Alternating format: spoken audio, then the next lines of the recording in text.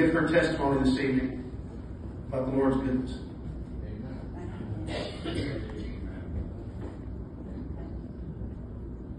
Well, thank you very much. It is indeed a privilege to be here this evening, to see your faces. You'll never know how this has encouraged me. I came to speak to you, but you have encouraged me so greatly, and I'm so thankful for that. You know, uh, there are many stories I can tell about Kendall. Uh, some of them are too private to be told. Uh, he had a talk with my husband about a year before he got married, and he told Kendall some things he needed to hear, didn't he, Kendall? Yes, ma'am. he sure did, but he loved Kendall. And you know, it's a wonderful thing for me to be back in Canada. Many years. The last time my husband and I were here, we were with Brother Pennell in Arlene. And I'm me to be here just to say a few words about my precious husband. I could not have been married to a more wonderful man. A man that loved God and was totally sold out for the Lord. Someone said to me this morning, your husband was really strong. I said, yes, he was. He was a bulldog. And she said he trained so many strong men his side. And he did. And it has been such a blessing to me to see all of you Crown graduates that are here and to hear you preach with such fervor. I know he was watching. There's no doubt in my mind. He never missed anything. And I know that he didn't miss this. And I'm so thankful for the opportunity to be here. Last night, I had the privilege to talk to some of the Crown grads, and we laughed. It was the first time I'd laughed since my went home. But to hear them share their precious memories about my husband thrilled myself in and straighten it out, aren't you? So they assured me they were. If they don't, my husband will come back to get you. I know you're going to do exactly what you need to do. You know, uh, one of our dearest friends, Johnny Pope, is here. And he started telling a little bit of the story last night. But we have known Johnny and Barbara for 50 years. Is that right, Johnny? We've known you that long. And we first met them when they were on their honeymoon. Now, most of you know that my husband pastored Southern Baptist churches for the first seven and a half years of his ministry. And he decided to go to Dallas, Texas to uh, the, the meeting of the Southern Baptist. And when he went there, uh, I didn't go, the boys were very small. I went on the trip with him, but I didn't go to the meetings that he. And he came back to the hotel and he said, honey, this is not right. They're, they're not taking the right stand on the Bible, and I don't to, want to invest my life. And he began to say, honey, I really believe God wants us to become an independent Baptist. Well, I had no idea what an independent Baptist was. I'd never seen one before. So he had to educate me to what an independent Baptist was. He was pastoring his second church, Calvary Baptist Church in Lenoir City. Wonderful. We have had wonderful, wonderful pastors. I think there were people at his memorial service from every church that he had pastored. But at that present time, we were at Calvary Baptist Church in Lenoir City. And so he said to me, honey, there's this young preacher that's preaching over in Solway Baptist Church in Knoxville. And I want us to go over there and hear him preach. He's an independent Baptist. I said, okay. God gave me to him to be a helpmate, so I was going to stand by his side. And I thought I'd try this thing out. I had been a Southern Baptist all my life. My father was a Southern Baptist preacher. That's all I'd ever known. Like Johnny said, I was in church nine months before I was born, and so we're on her honeymoon. And so they introduced Johnny, and he got up to preach. He preached a lot, and then he did the most amazing thing. Now he denies this. The only time he's ever going to admit it is when he's in heaven.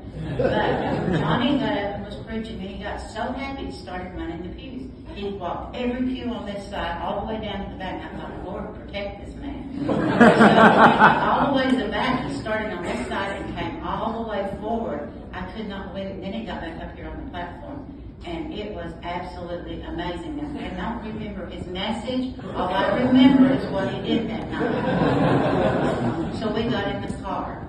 We sat down, and I looked over at my husband, and I said, and this is what you want us to be?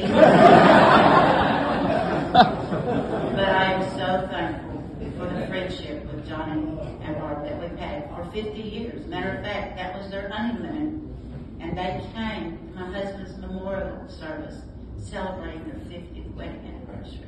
They've been dear, dear friends. I think about when uh, we were privileged to be here with Leroy and Arlene the last time we were in Canada, and what a wonderful time we had. And my husband actually fought to get here because he was so proud of what Kendall was doing. You know, I remember the summer that Kendall came with a singing group to Canada, and uh, the most astounding phone call. He had met some girl up here, and we just couldn't believe it.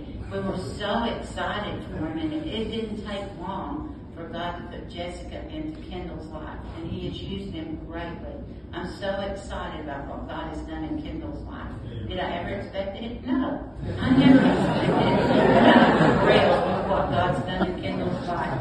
You know, my husband and I always joke with Kendall, and he does that with people that he loved dearly. And so Kendall's really able to take that. And then after he gave Kendall a lot, he gave him two precious little girls that are so beautiful. Now, God never makes any mistakes. And when Kendall asked me to speak about my husband, I just thought there was a few things that I'd tell you. We met when I was 13 years old. He was 14. We were both freshmen in high school. And from the first day I ever saw him, I fell in love with him. Matter of fact, one day we were, I was riding down the street with one of my friends in our hometown of Memphis, Tennessee. And I said to my friend, I said, you see that boy walking down the street right there? I'm going to marry him. And he says he didn't have a chance after that. And that was really. He. I could tell you the story of how we got married, but it's a little bit embarrassing. Um, we tried to keep it from the Crown College students for a while, after a while we just gave up. Told we got married when we were 17, 19 years old. And he loved to tell that story. Matter of fact, I was listening to him at a couples retreat that we had recorded listened to it on YouTube and he was talking about when we got married. So he and I decided we were going to get married. Of course, we asked my mother, and my father, of course, was My mom gave us permission. She loved my husband from the get-go. So she gave us permission to go get married. So we headed off. We laid out of school. This was our senior year. Mm-hmm. And we laid out of school that day, and we went to get married. When we got there, it was bad because the justice of the peace said, I'll have to see your identification. So we showed him our driver's license. He looked at my husband's and it was okay. He looked at mine and he said, Oh, honey, I'm sorry, you're not old enough. You have to be 18 to be married. And I was only 17 years old. So we were so discouraged. Now, this was after we'd gotten our blood test. 57 years ago, you had to have a blood test, believe it or not, before you could get married. And that was another funny thing. I was horrified to have my blood taken. I had never had my blood taken. Well, he was going to be the big he-man, get his taken. So he stepped up first, passed out cold. so anyway, we were disheartened because I wasn't old enough to get married. So he got this brilliant idea. This was back when your driver's license were paper. And I was born in 1949. And for me to be married, I had to be born in 1948. So we went back home and we told Mama it didn't work. We couldn't get married. So he took my driver's license. I probably from the look on some of your faces, I maybe should be telling this. He took my driver's license and changed it 1949 to 1948. Now this was how stupid we were. We went back to the very same man. and he said, Oh, I see you're back today. And I said, Yes. And he said, Well, I need to see your identification. So my husband showed him his. He looked at mine and he said, Oh, I see you're old enough today. so he married us. I've often wondered if we were great relationship. Uh, 57 years serving the Lord together. The next summer in July, we had a area wide revival meeting. And my husband and I attended each and every night. And the Lord began to deal with his heart about preaching. And my father had been a Baptist preacher who was killed when I was five years old, so I was very open to my husband becoming a preacher. But one night during that meeting, he went forward and surrendered his life to preach the gospel. He had always been an outstanding Christian ever since I had known him, but he totally gave his life, surrendered everything he had that night at that meeting to preach the gospel. And our lives began together, and that was oh, 57 years ago. And what a journey that we had together.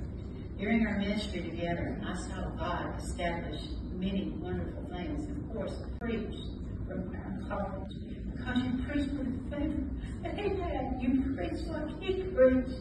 And I'm so thankful that you're so strong. And please, please continue. I think a lot of you have been out of college for 10 to 12 years and you're still going strong. And how grateful I am for that.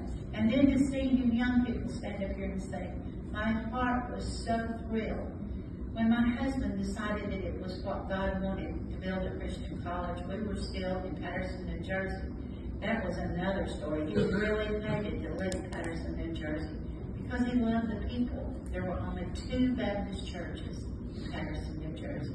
And when the pulpit committee from the Temple Baptist Church started dealing with him, he said, honey, there's 320 Baptist churches in Knoxville, Tennessee.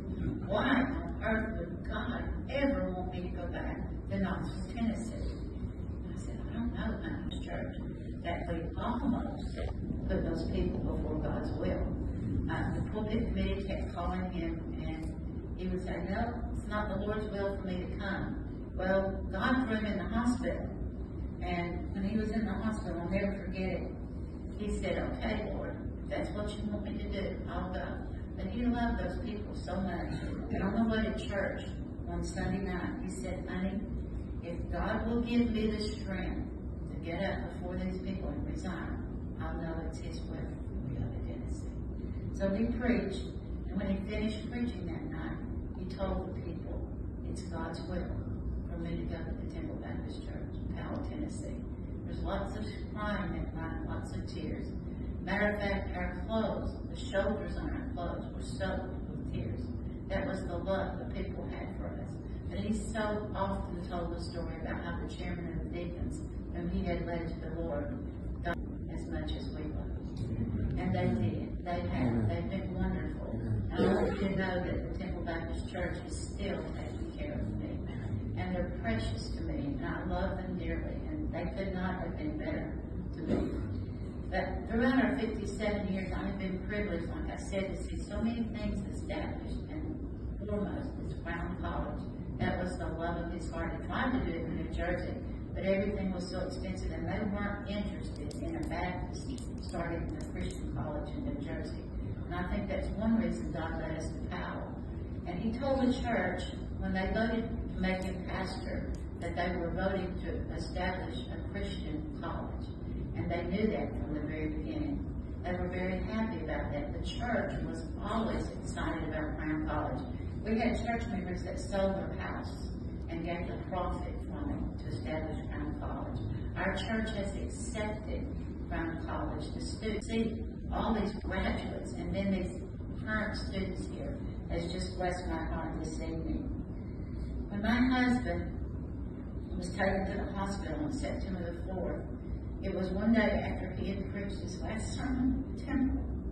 He was very weak on September the 3rd, and uh, he really couldn't even button his shirt. He was so weak. And I said, honey, you can't go to church today. You're just too weak to go. He said, honey, God has given me a message, and I'm going to go. And so he did. On September the 3rd, he went to church and he preached the last message that he would ever preach. And I feel like when he came home that Sunday morning after he had preached, he knew that he would never be back inside the Temple Baptist Church. We prayed that God was going to raise him up. The church prayed, we all believed. Emily and Brandon were there with me. We all believed that God was going to raise him up. The church believed. He'd done it three times before, and he would do it this time. But when my husband went into the hospital, he was walking, talking, eating, having meetings. He was himself. And that was one reason I felt like God was going to heal him. But they began to have to do surgeries on my husband. And by the way, my husband had 20 surgeries while he pastored the Temple Baptist Church in the 35 years he was there. He had nine spine surgeries, and after every spine surgery, he came back stronger willing and ready to get back to work for the Lord Jesus Christ. But they put him to sleep in this hospital six times, and they used the drug fentanyl. Now, you know what kids are doing with fentanyl today? They're killing themselves on the street, crying angrily.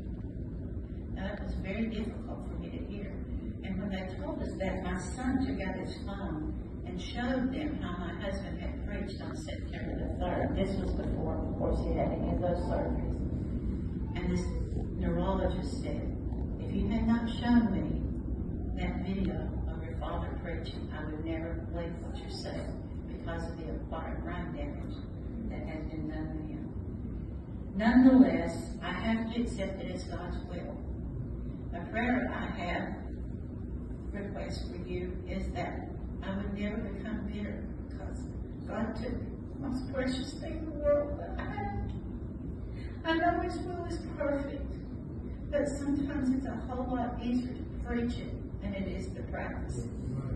So on December the 12th, 2023, my precious husband went home to be with the Lord.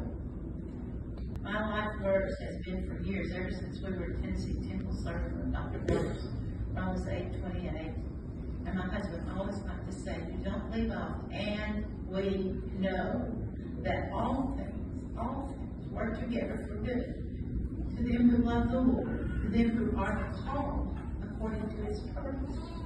And many times I've said, This too is going to work together for my good. If I believe the word of God, it will work together for my good. My husband was a great preacher. I listen to him every night. He puts me to sleep every night. I am blessed beyond measure. Some widows never get to hear their husband again. I can turn mine on and hear it anytime I want to. And that is a special blessing that the Lord has given to me. So he puts me to sleep every night, listening to him preach. And I'm so thankful for that. Most of the times in the morning I listen to him too. But his last verse was Acts 5.42, and daily in the temple in every house they ceased not to teach and preach Jesus. He said, I want to make Powell the place where we reach the whole world. I want to evangelize the whole world out Tennessee.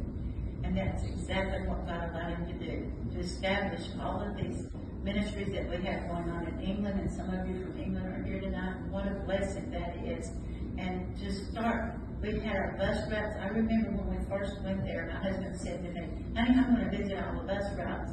So we visited every single bus route, and he loved the buses.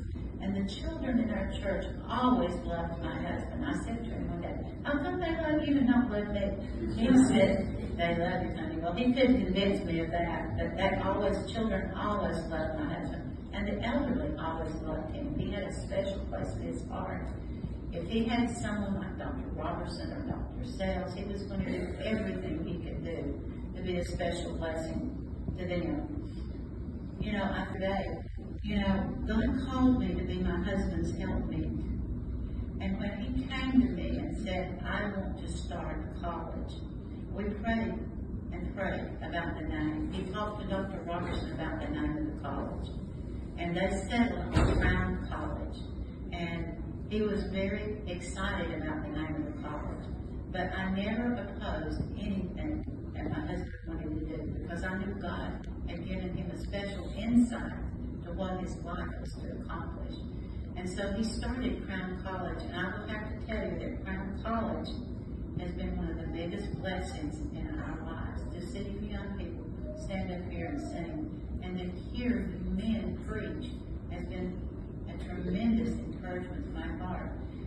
While I was talking to some of the graduates last night, I laughed. And that may sound simple to you, but that's the first time I really laughed since my precious husband went home to be with the Lord. It was very special to me. What he say to you? I'm not really sure. And I have a book of about 50 quotes that most of the college students could refresh to you tonight. Some of them are everything begins with God. The Christian life is a series of new beginnings. Our faith was once delivered and must be continued for in every generation. And he would say, take the high road. for the last six to eight weeks of my husband's life. He didn't move. He didn't speak. They had taken his mind. It was gone. And I begged God. I said, God, please just let me hear him tell me he loves me. One more time. He couldn't. He didn't. People say, oh, they raised up in bed and they raised their hands and they saw Jesus coming and they saw the angels. I said, God, let me see something. Well, God didn't. He just there in bed. And he gently took his last breath here and entered into the kingdom of God. It was precious. He never got to tell more time that he loved me. But you know, God is so good. He wrote this book. I didn't know he had written it. He was something else. John chapter 17 is my favorite chapter in the Bible. Book that he wrote while he was still alive. We do have some that he'd written we didn't know about. They were going to publish in the future. But he wrote this book, and it's entitled Our Praying Savior. And perhaps you have a copy of it. After my husband went home to heaven, and he wasn't too, it says, Evelyn and I have been married for 57 years. And I said to her the other day, I love you more now than I have ever loved you. And I have always loved you since you were a young girl. He said, this is not true, but he said it. God let me marry the most beautiful girl in high school. And I want you to know that I still love you. That's how good our God is. He didn't say it. He wrote it in print where I could go back and read it as many times as I wanted to. I want to leave you this evening with a Bible verse that God has used in my heart so much. The Bible says in Revelation 14, 13, And I heard a voice from heaven say unto me, Write, blessed are the dead which die in the Lord from henceforth. Yea, saith the Spirit, they that they may rest from their labors and their works do follow. I think we have seen proof this week that his works are following him. Of course, I miss him. I miss him immensely. And I don't remember. I know what you're going through.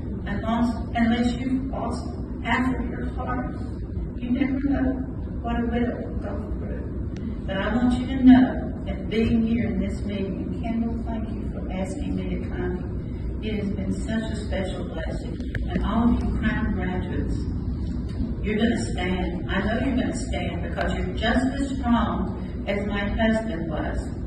And he'll come back and haunt you if you don't. I love you. Thank you so very much.